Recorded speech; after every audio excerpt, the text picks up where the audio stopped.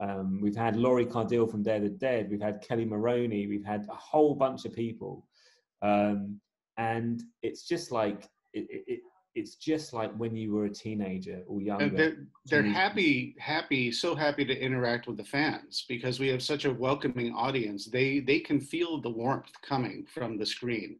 That people are just real happy to have this opportunity to talk to them, especially before a watch party of one of their favorite films. It's it's really yeah, cool. it's it's dominating my Sunday night, and um, you know it's uh, it, it's the best executed watch party um, consistently that I've ever seen.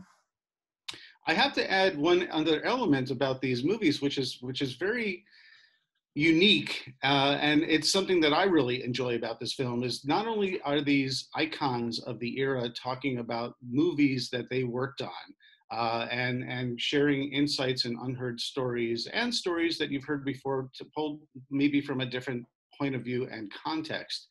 Uh, but what is cool about it is that they talk about stuff that they love. They're talking about the genre, they're talking about the era, and they're talking about some of their favorite films and why. Why were they influences? Why did they just love them? What why what scared them? Um, and you don't quite get that. And you have this sort of community collective of these people talking about films together.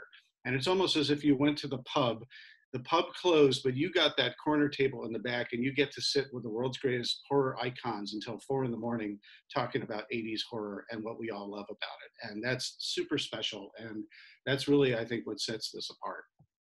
I think that's the nice thing about the horror community as well. Like you forget these guys are such fans themselves. And that if you do get them in a room and you just chat to them about horror, like they're the same as you, you know, there's no, that's why the watch parties have worked so well on Discord is kind of these these people are super fans too, and they're just happy to be chatting to their community. Their eyes their eyes get wide when you ask them. You know, they they've been this is their career. They it's not the first time they've been asked questions about uh, you know what they what they've done influentially in that decade but when you when you can get time to sit down with these people like uh, robin had mentioned i mean i sat down with robert englund for three hours at his home. And that was such a treat because you get to go down rabbit holes and avenues and tangents that that yield incredible results and wonderful stories and anecdotes. And you can go beyond just the decade.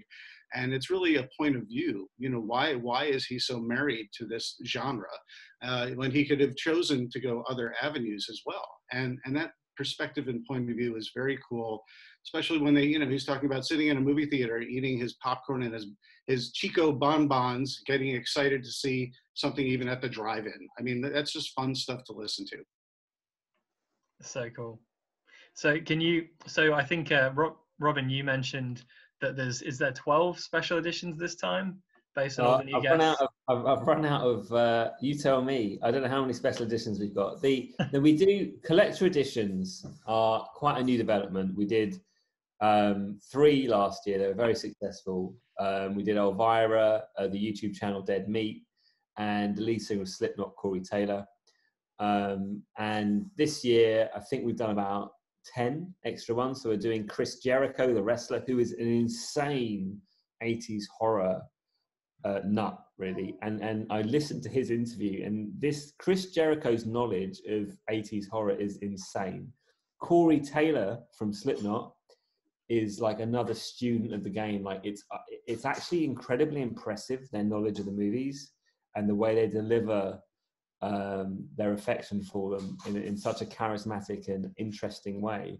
Um, we've got two of our our uh, big partners, um, Cinemassacre, um, the angry video game nerd who who was a big influence on me. Lovely guy, James Rolfe, who was in the first one, and um, Cecil from the YouTube channel Good Bad Flicks. Um, we've got Kane Hodder, uh, Linnea Quigley, and there's a whole bunch of ones. But the, the, the, thing with collector editions is they're really designed to appeal to that person's very specific niche audience. So it's not something we really talk about, but because the fans wanted them, because it made sense for us to deliver slightly altered versions and and and, and kind of through the lens of that influencer, our format allows us to do that. Um, but the if you look at the package that we're offering, the artwork that hit, that comes with In Search of Darkness Part Two is the best we've ever done. Um, it comes with three posters. David, behind David, there is our kind of lead poster by the artist Dave Morrell. We have another, uh, we have our one with, with kind of two columns. Um, and we have a Clayton, yeah. another piece. Yeah, it's just like, it's just really beautiful. It's just kind of so nostalgic, so evocative. Um, it comes with an enamel pin.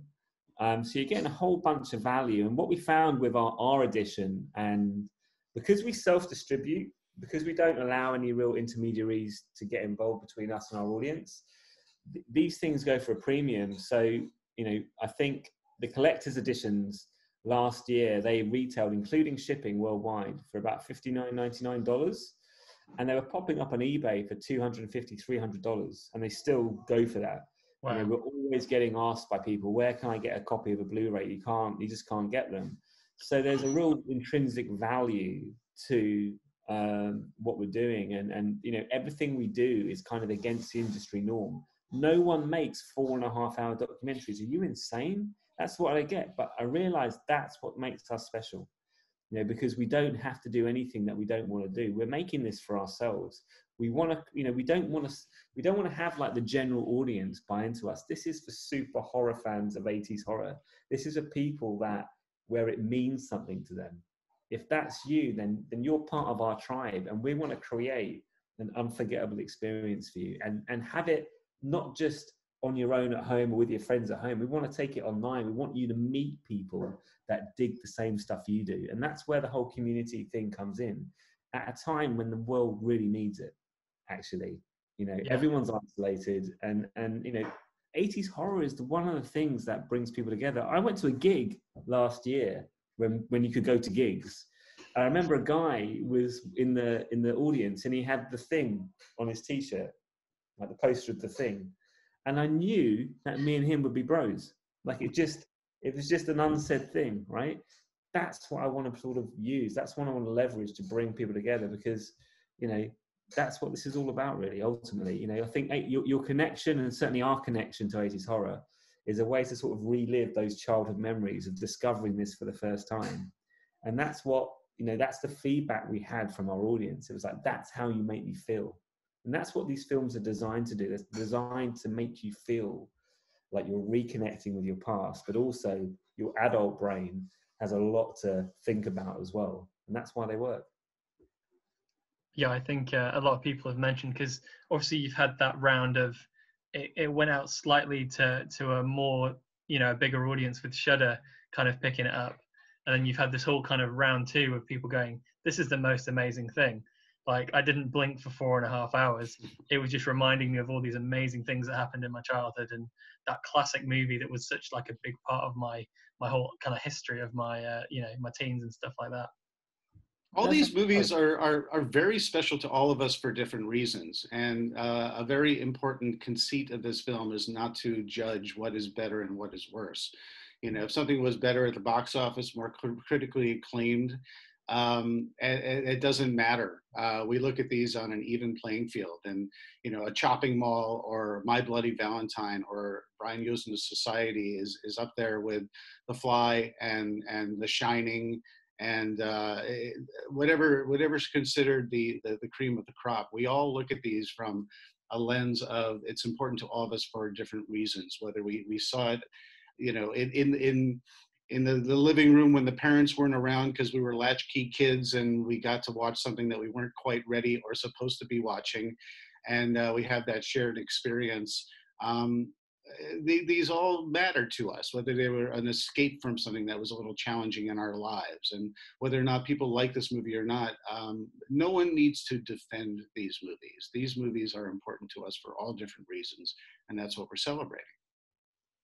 I think it's also as well for that sort of newer generation that are kind of discovering stuff for the first time. It's a really solid list of this is where you get started. You know, there'll be and there'll be plenty of stuff that people from that era won't have seen as well, might have heard of at the time and maybe missed it and are picking up these absolute gems of films now that are just on their watch list. It's it's real fun to see. It's basically a, a movie that is a curation list by the greatest icons of 80s horror for the fans. And if you're brand new to this, uh, or if you, you, you never thought about a movie a certain way until you saw this film, and now you're interested in revisiting it, uh, we're getting all sorts of people sharing those experiences. They're like, "Well, I never, I never really gave Killer Clowns from Outer Space a, a second blink because I just wasn't interested. But now that Joe Dante, it's one of his favorite films. Now I'm in